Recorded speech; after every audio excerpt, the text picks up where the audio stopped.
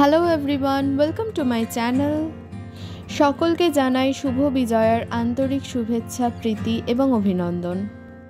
তবে আজকের এই ভ্লগটা বিজয়া দশমীর নয়, এটা অষ্টমীর দিনের ভ্লগ সকাল সকাল বেরিয়ে পড়েছিলাম গ্রামের পথ ধরে। আমাদের আজকের গন্তব্য ছিল মহেশপুর রাখালচন্দ্র সেবাশ্রম। আজকে এখানে আসার মূল উদ্দেশ্য ছিল কুমারী পূজা দর্শন। বাঙালির শ্রেষ্ঠ দুর্গাপুজোর অন্যতম অঙ্গ হল কুমারী পুজো। শুধু বাংলায় নয়, বিভিন্ন রাজ্যে রয়েছে এই পুজোর প্রচলন।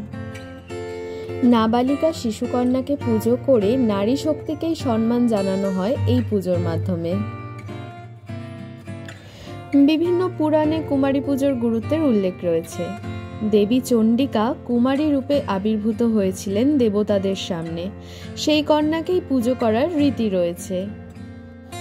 উনিশশো আটানব্বই সালে স্বামী বিবেকানন্দ কাশ্মীর ভ্রমণকালে এক মুসলমান কন্যাকে কুমারী পুজো করেছিলেন।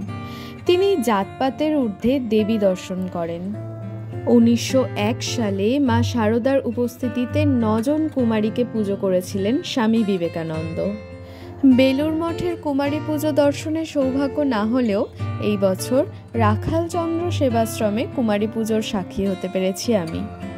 ভীষণ ভালো অভিজ্ঞতা অর্জন করলাম আমি এখান থেকে। এখানে এত সুন্দর আলপনা দেওয়া আছে, পুজো সম্পন্ন হয়ে যাওয়ার পর মনে হলো, তাই এই ছবিগুলো আপনাদের সাথে একটু শেয়ার করে নিই। তারপরে যথারীতি খাওয়া দাওয়া হলো এবং আমরা আবারও আমাদের নিজেদের বাড়ির পথের উদ্দেশ্যে রওনা হলাম। আজকের এই ছোট্ট ব্লগটা এখানেই শেষ হলো। আপনাদের যদি ভালো লেগে থাকে তাহলে আমার চ্যানেলটাকে সাবস্ক্রাইব করে আমার পাশে থাকবেন।